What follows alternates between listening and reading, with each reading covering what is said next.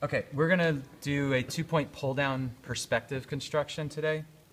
This is a bit of an old-school system that architects and interior design designers tend to prefer over building grids because it's a very direct and quick system, and your perspective space uh, is generated very, very quickly from this uh, process.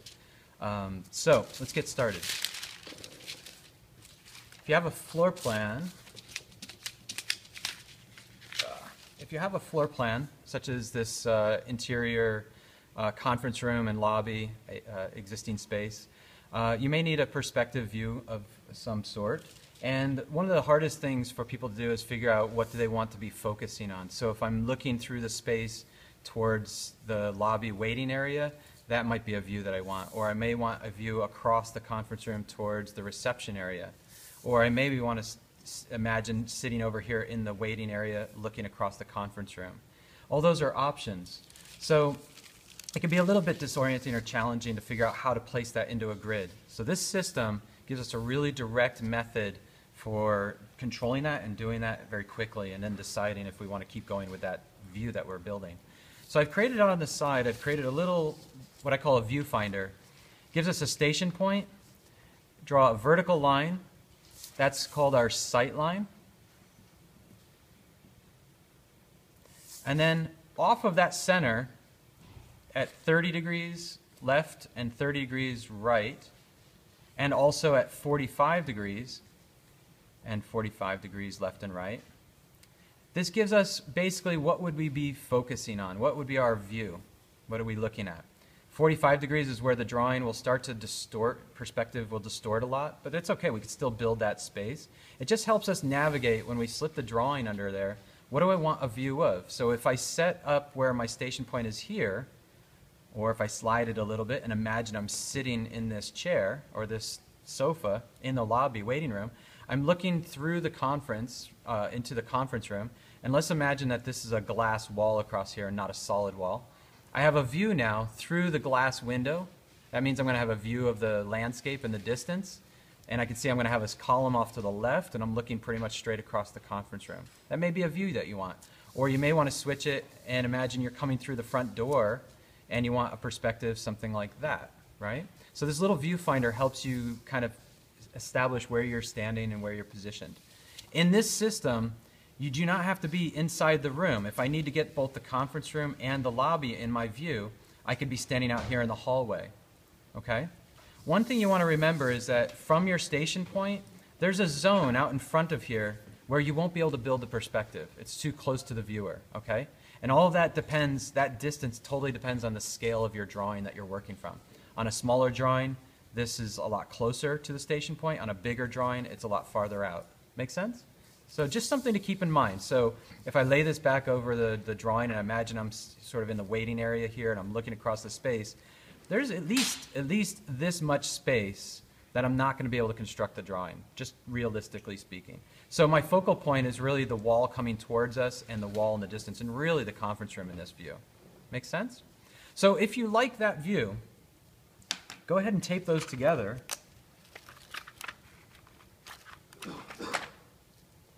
I'll just put a couple pieces of tape here and here on the sides. And then what you want to do is you want to look at where the back corner of your space is. So I don't define this as my back corner. I call my back corner the farthest corner away from me. And you're always looking for the perpendicular geometry, the back wall versus the side wall in this case. You want to set your sight line vertical. So I'll just take my T-square, my triangle, I want to set that vertical effectively like that. And I want to be within the camera view here, so I'm going to move this up a little bit. I've given myself some markers. Hopefully I don't blow it. I think I'm within the camera view still here. And I'm going to need a line across the back here, right where my pen, pencil is set. And that line is going to come off of this back corner of the inside of the room. Make sure you're on the inside of the room. I'm highlighting it here in blue. You make sure you're on the inside of the room and not the outside geometry of the building. There's no sense for that, for an interior drawing, right? So I'm just kind of looking at where I'm at in the position. I think that's a pretty good place to be right now for my drawing. So I'm going to tape that down. And now I can lay some trace paper over the top of that.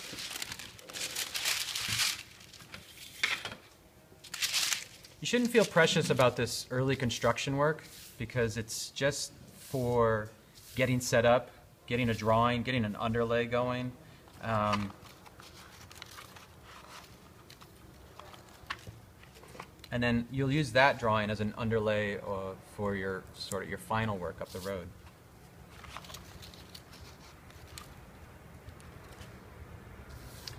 Hmm, I need to do something here before I get set up. One thing I can see is that my back wall in this case is at a very shallow angle. And what that's going to do is put my vanishing point very far off to the right. So I'm going to reposition this off to the left. Okay? You'll see why in a second when I get reset up here. Or when we get when we get the system moving along a little bit further. So I'm just going to reset. Again, sight line is vertical, perpendicular to our picture plane. And now I'm back in business. My other wall I'm less concerned with because this angle is very steep relative to my station point, relative to what will be my picture plane back here. Okay, so that's going to put a vanishing point down here very close and inward. All right. And if all that sounds cryptic because I haven't taught you that yet, that's okay. I'm going to walk you through it. I'm just pre-planning where my, my layout's going a little bit here. The more you do this process, the better you get at it, the easier it gets. And you can use it and within 10 minutes, five minutes, you can decide whether like you like that view or you want to change your view or anything, okay?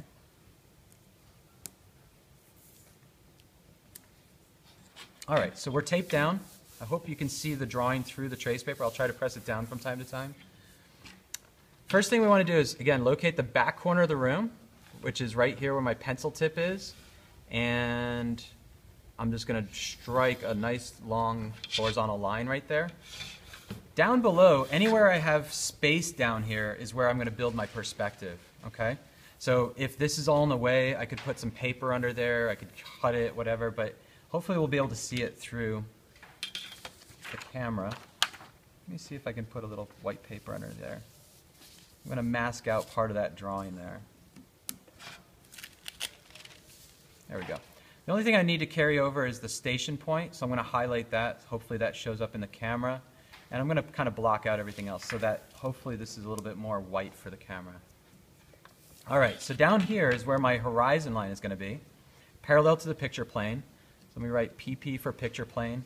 Down here is the horizon line. It could be anywhere you want. Again, it's just for getting the drawing set up and getting the ball rolling. You want to want to, imagine where's your horizon line, where's your eye level in the space, how much floor are you going to need, how much ceiling are you going to need. That's going to help determine whether you need to add paper or whatever. I need to make sure that I'm within about this line uh, for the camera view. So I need to draw this a little bit higher up here than I would maybe normally. So this is my horizon line. Okay? So now the, what we want to do is take this back corner of the room, and my plan here is at um, 3 eighths of an inch. 3 eighths inch equals 1 foot 0 inches. Okay? That just happens to be my plan. You could do this at eighth inch scale or quarter inch scale, whatever you want, whatever works for your paper size. Off of the back corner of the room, you carry that corner straight down across your horizon line. Okay? This corner of the perspective, this edge of the perspective is the only time that the perspective is at the same scale as the plan. So I use my architectural scale, grab that. 3 8 inch scale is right here.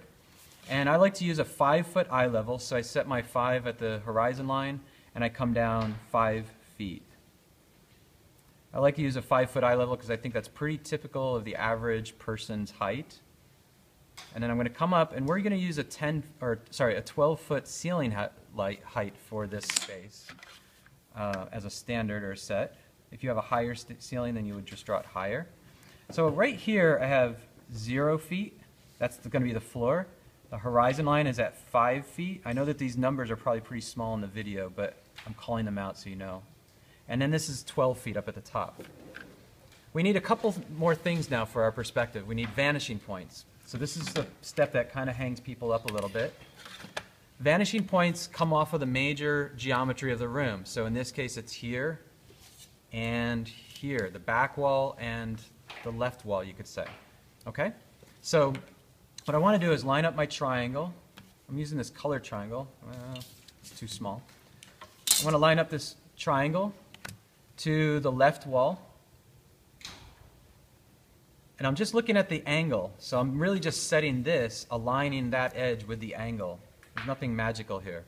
And then I butt this against that triangle. And if I slide this along that line, this edge is parallel to the wall.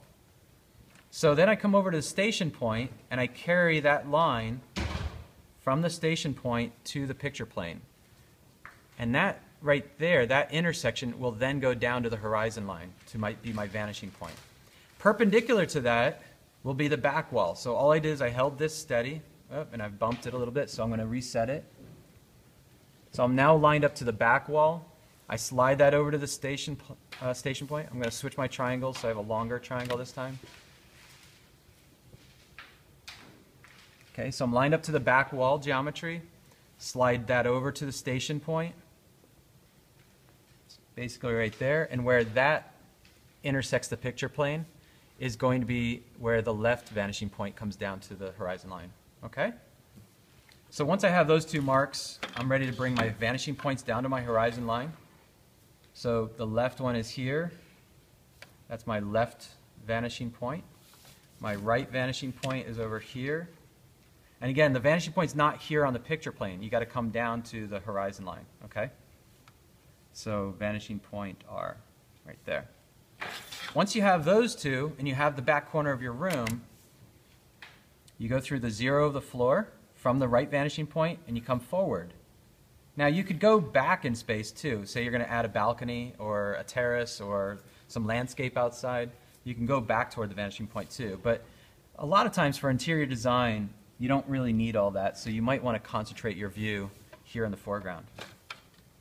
Um, the left vanishing point is over here. So I go through the zero. That's where that wall is. If I need to extend that line, I can block it and slide this over, and then my line is longer. So if you're working with smaller triangles, uh, that's one way to work. You can also flip your T-square upside down and you know line it up that way. So I can come up here to my left vanishing point. Through the ceiling is 12 feet. So there's my ceiling line. So what I have already is a representation of the left wall, which is this wall over here. And I have the representation of the back wall, which is the glass wall in this case, which is over here. Down here is the floor plane. That weird triangle is the floor plane. Up here, this weird triangle is the ceiling plane coming out towards us. Okay?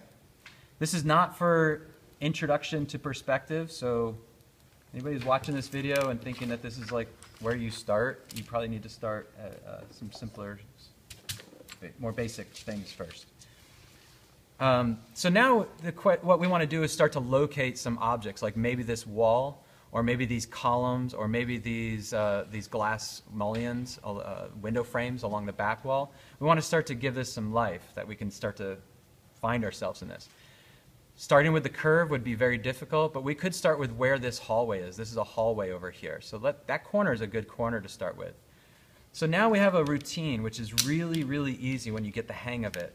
The routine is I have my walls. I can trust that. I have this left wall. I have the back wall. Those are things that I can define based on the edges, the floorboard edges and the ceiling plane edges. For this corner, I need to take into consideration foreshortening in order to get it down here into the perspective. So I go to my station point. I go through this corner on that wall, connect the station point to that corner. The only thing I need is where it crosses the picture plane. So right there. And then I bring that point down into my down into my perspective. So that actually comes down here. Okay?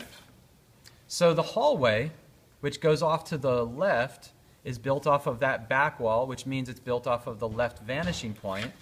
So I can come over here to my left vanishing point, and that hallway goes off in that direction.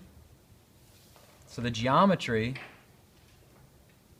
is going off in that direction. So this representation right here is parallel to that back wall. Make sense? So let's locate the other side of the hallway, which is this corner.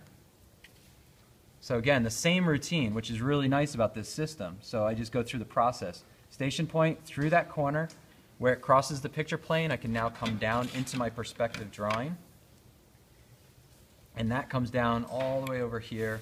We're way deep in, in the foreground here, so that's okay. I'm going to continue this line of the ceiling in the foreground here. Switch back to my blue pencil for that ceiling line.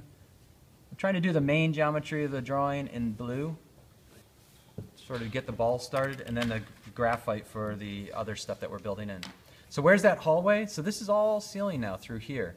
And that hallway continues right here, right? So it actually disappears behind that edge right there. And on the floor, disappears behind that edge right there as well. But that's the hallway. So this is the floor plane. And that's it. That's the distance or the depth of the, of the conference room in this case, based on our perspective system. Okay?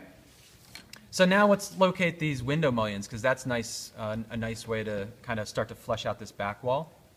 So I'm going to just locate one of these mullions, or you could even do the center lines of the mullions um, and go from there, and then just kind of uh, eyeball the width of the mullions. So station point, station point through the center of the mullion crosses the picture plane. I'm going to go ahead and do several of them at the same time to save myself time. Right there. And I've ignored these two because they're hidden behind these columns, so I'm not going to waste my time with those. So I see that this first mullion intersection right there, that means it's going to cross the glass. That's the glass right there. The other one is right here. The next one is right there. And the next one is right there. If I wanted to locate this wall, where the wall is on the glass. I just look at where it meets the wall, which is right there. Station point through that point to the picture plane. And if we're doing everything right, we should wind up with this wall to the right, to the right of our vanishing point. And you can actually see that. There's our station point. We look across the space. There's our vanishing point. This wall should be to the right of that. So we go through there, and I come down, into the perspective, which is down here. And it's to the right of the vanishing point. I can actually see that wall standing right here. I can actually see that wall. So off of the right vanishing point, I come outward in space. There's the far right wall. And that wall is coming out towards us over here to the, to the far right of the space. Make sense? Now I can see something here. This wall is lined up straight across to the other hallway. So I now have an, another anchor point here. I don't need to use the station point through there and go through that whole process again. I can just carry the geometry from here across my perspective. So I'm going to use my long straight edge, left vanishing point, line up with this wall. I can see I'm off of the page over here.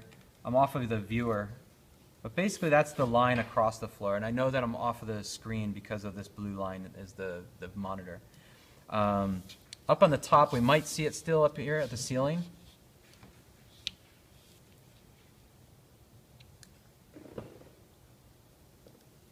Oh, it's off. It's off the page also. Way up there. Well, actually, that might be in the viewfinder still.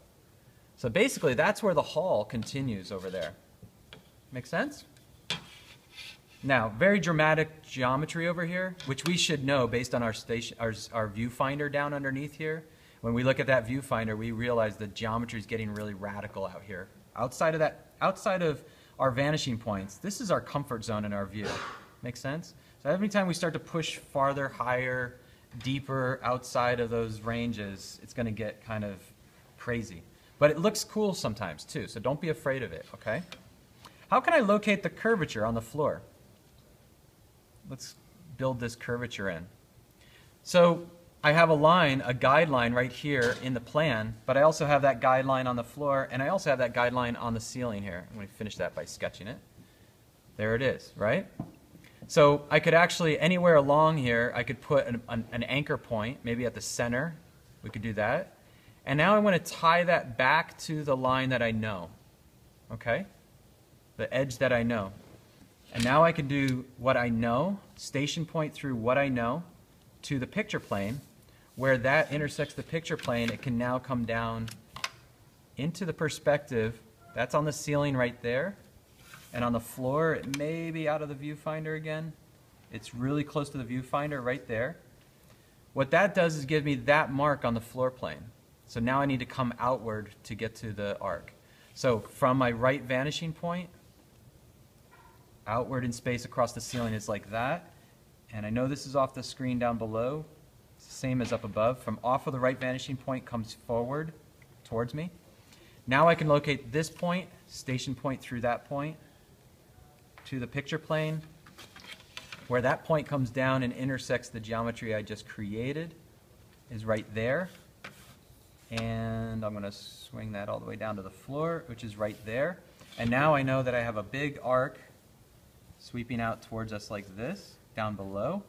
And up above, got to get my body in the right position. It's something like this, sweeping all the way out there. And the geometry might be stretching in this case. So our usual rules of ellipse logic kind of go out the window because the geometry of the grid being tweaked so far.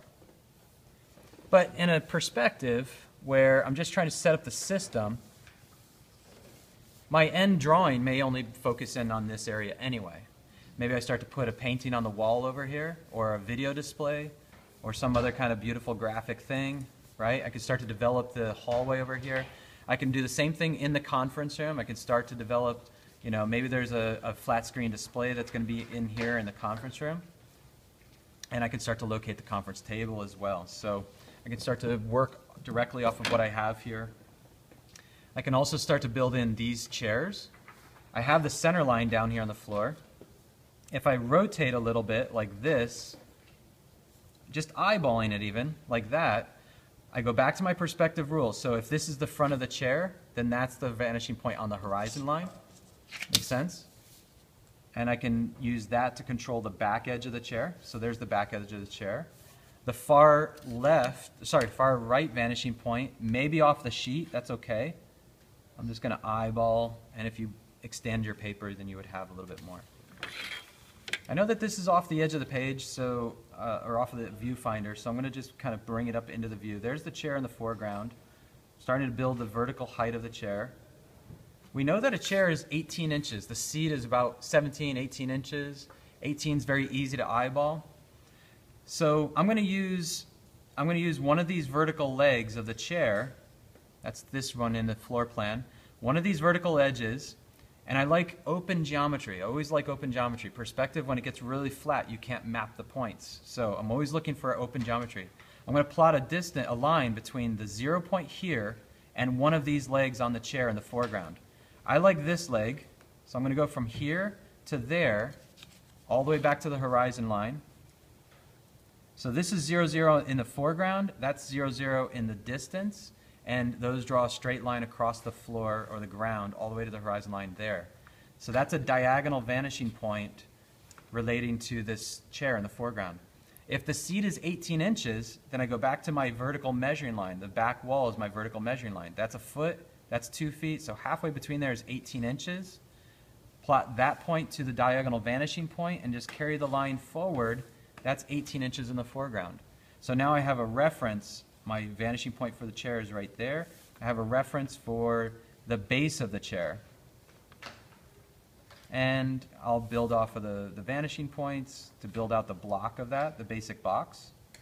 And if the chair has a seat back, now that's just a roughly, you know, an 18 inch high square. And if it feels like it's a little bit small, I can add a little bit dimension to it, a little bit of thickness all around it, make it a little bit more, uh, a little bit more thick, whatever, more volumetric.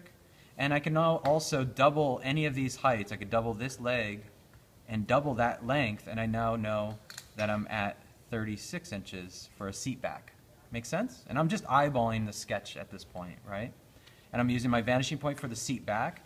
Most seat backs are not vertical, straight up and down like that, unless you're Frank Lloyd Wright doing really vertical, rigid kind of geometries from the you know 20th century, early 20th century.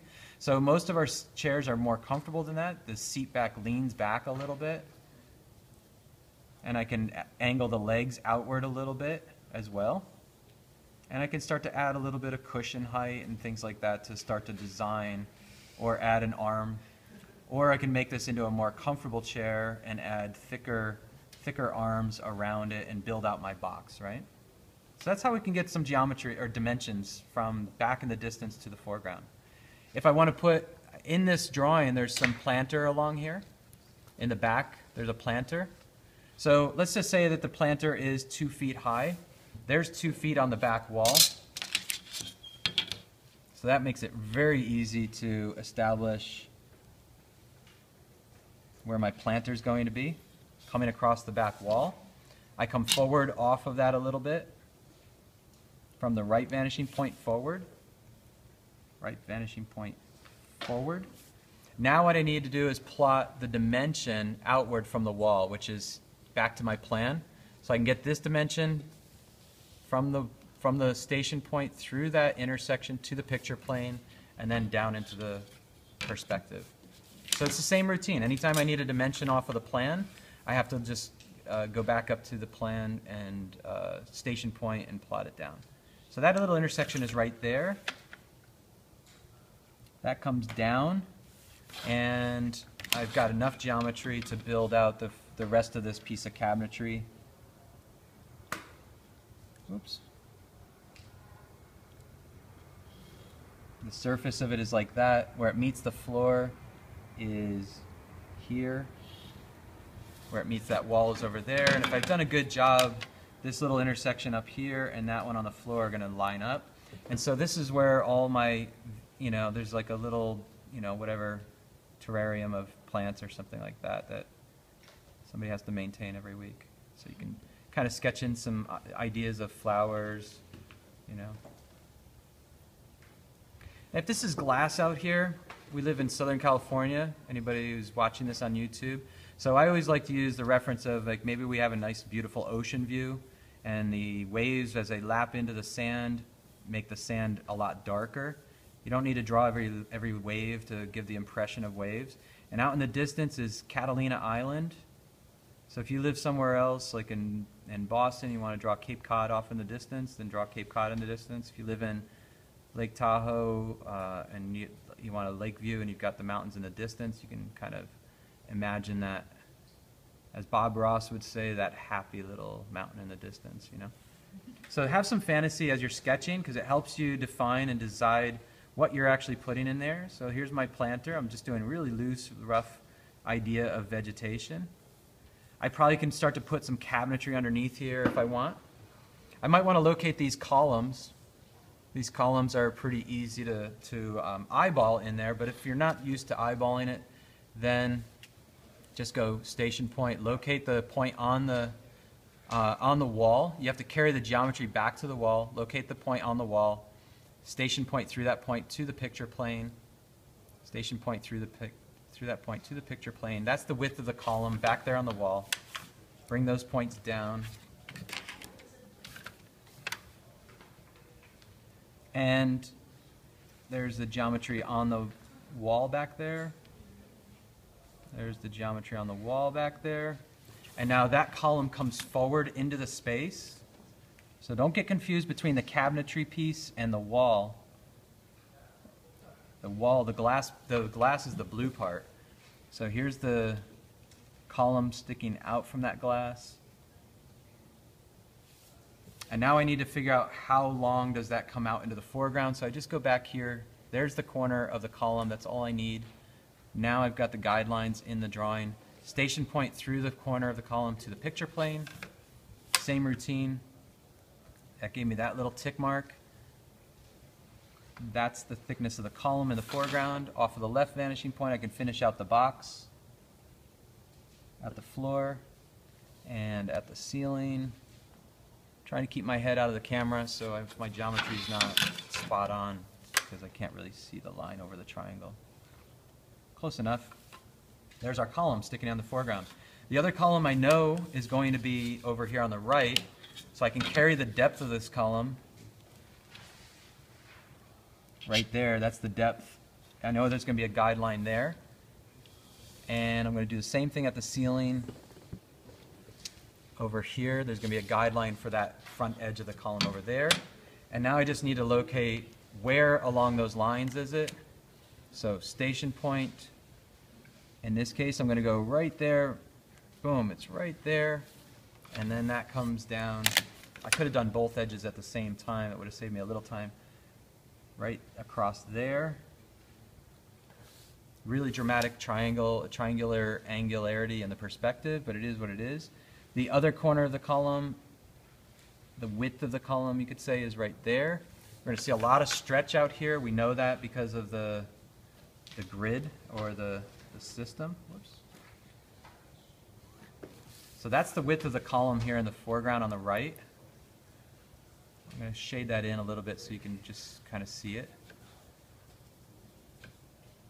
It's going to block Catalina back there. It's also going to be blocking the planter right there where we're going to, and then the other column is over here. Sort of sketching the, rendering these in a little bit helps you see what you've got and make out your work a little bit sometimes. Okay? So how can we locate this conference room table? Where do we locate that? Well, I know that the length is here, so I can carry that length back to the glass wall, right? I can also bring the width or the depth of it over to the left wall, and now I've got four anchor points that I can bring down. And if you see it in two anchor points or three anchor points, then take the shortcuts, you know, as long as you've got the right geometry. So the length of it is over here. And if you need to make little marks like circles or anything like that to help kind of tag and nomenclate, uh, is that even a word, nomenclate the, the marks. As you get more marks, it's hard to keep track of what you've got. That's okay. So I'm circling these now. I'll use arrows later, little plus signs, little minus signs, whatever you need. So those are my four cardinal points that I need now down here in the perspective. Keep track of which ones go to which walls. So these two go to the left wall over here. There's a couple marks on the left wall. Uh, these two over here go to the right wall, the glass wall. And now I've got all the cardinal geometry I need. From the right vanishing point, I come out from the right wall. There's a guideline across the floor there and there. And off of the left vanishing point, there's the guideline across the floor there. Look at the floor representation. That's where, that's how much floor there is behind there. So that's where these other chairs are going to be and things, right? It's going to get a little tight in there, but nonetheless. Where's the center for this arc? Well, I can bisect corner to corner. I can always use that geometry. So I don't have to, um, I can go back to some of those fundamental geometries. Find the center line here. Bisect the plane. There's the center point of the plane. So now I can come off of the left vanishing point through that center line. That's the center of the arc. And over here, behind the chair is the center line of the arc. So now I'm going to use my ellipse logic. Now normally I would say use, you know, uh, square up your ellipses vertically, or the minor axis is vertical. But far out in the perspective system here, it's actually okay if your ellipse leans. So that's the table on the floor. We need to get this table up here, right? So we go back to the vertical measuring line, one feet, two feet, three feet. Typical table is about two and a half feet or so, right? 30 inches, maybe is a little high. So go back to the back wall, one feet, two feet, two and a half might be a little high. I'll just come a little bit low of that. That's my roughly 28 inches or so, right? Instead of two and a half feet. So again, find a vertical line. You could come out here to your box, build your box vertical, give yourself a vertical line. Draw a straight line between the zero zero on the floor and the base of that base of that box that you're building. Draw that line. You don't need to draw the whole line, you just need the intersection. So that's the diagonal vanishing point for the conference table. The vertical edge is here. Diagonal vanishing point through the 28 inch mark on the vertical measuring line is right there. So that's the height of the table in the foreground. And you're going to see that the top plane of this table practically just goes really flat. It just is what it is. You can see the far end is over here. If that was a flat plane, it would look like that. This is going to be an arc, so we're going to see more of it like a tangent up here. I could give myself a guideline up here if I want. Left vanishing point from the corner of the box comes across like that. So it hits this mark here. So I know that the end of this elliptical table is going to look sort of like that. And if I sketch that in, knowing my log, my rules of ellipses, you're pretty, you're in good shape. I've got enough, my box on the floor is here, there's my box up above, back to the right vanishing point is right there. So I know that over here there's going to be an ellipse also, and I can use my ellipse logic to sketch that in as well. So now we're getting up into the normal part of the perspective, and I would say square up your ellipse so that you go back to those minor axis vertical and major axis horizontal. Make sense? We're back into the center of the scene. So you really want that ellipse to be a little bit cleaner. The tangency of the table is here. If the table has got like a little bit of thickness, then that's about there. You could kind of figure out, maybe it's got like a pedestal base, like a Saarinen table. Uh, that makes it a lot easier to sketch and draw and design. And now you got to start to place the other chairs. The chairs on the back side are just going to, all you're going to see is the chair back. So I could start to sketch in the chair backs. There's four of them. I don't know how many there are here. In the, there's five in the plan, so I can make some adjustments later.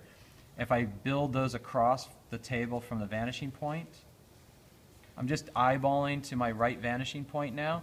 I can see where the chairs in the foreground are going to be also, right? There may be the chair back right there, and I can start to sketch in the chair, right? Okay?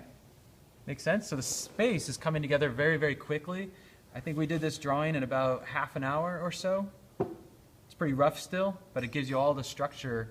Now you can actually start designing and making some critical choices about what you're putting in and what you're gonna, how you're gonna articulate your plane, your ceiling or your wall planes. If you want to make a, an arched ceiling, you might start to think about, oh, I might raise the ceiling up here and create an arched, arcing ceiling. As we get over to the vanishing point, the arcs are flattening out and arcing in the opposite direction a little bit like that. If we want to do a recessed ceiling or a step down ceiling or a cove, I can just build off of this and build down or upward as I need to. If I want to build columns or, or beams coming across the space, then maybe I work off of these columns that are already in here and I come down some amount and I just start to build in what looks like a beam coming across the ceiling plane. So if you have more of an industrial space or a converted industrial space from, uh, you know, converted uh, industrial building into, into lofts, you might have exposed beams, kind of like that, right? And those could come across the scene. And I could build out from this plane also. Well, jumping ahead, jumping around a little bit. Let me carry this same geometry from the left side of left beam, left column, over to the right beam. So now I know the, the, the height of that beam on the right side of the scene. And then I can come out from my right vanishing point. The same corresponding beam, beam on this side of the scene would be really, really flat to our eye, but there it is coming out towards us. So this is the underside of that beam. And I would put wood grain in there if it's like an industrial beam. And this is the vertical plane of the beam. There we go, running, off and running.